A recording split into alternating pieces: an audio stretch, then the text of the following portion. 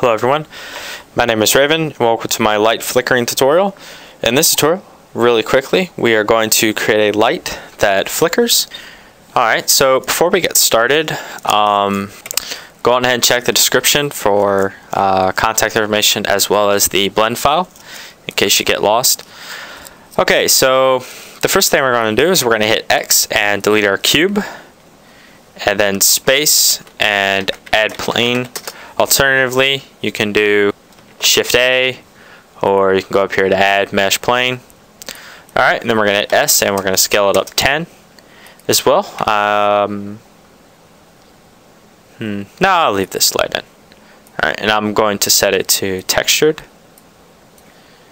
And then we're going to go over to our light settings. And I'm going to set the distance to 10. This should make it a little bit darker. This might work better with a spotlight though.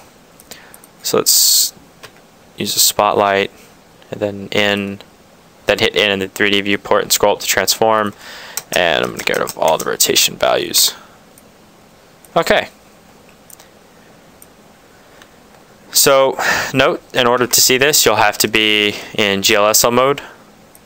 Uh, in multi-texture, you won't be able to see the light source. Uh, okay, so now what we want to do is go over to our energy and then hit I. Alright. Now down here at the bottom where our 3D viewport icon is, go to our graph editor. Alright.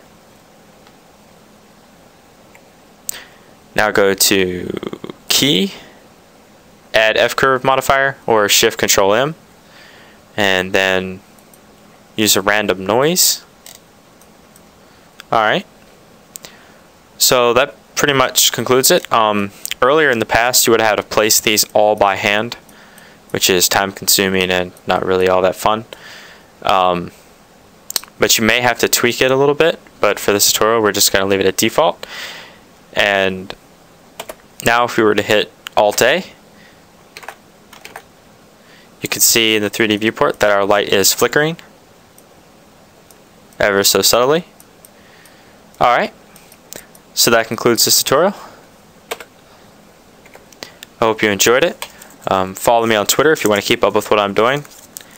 Uh, as well, stop by the forums if you have any questions. And I have an IRC set up.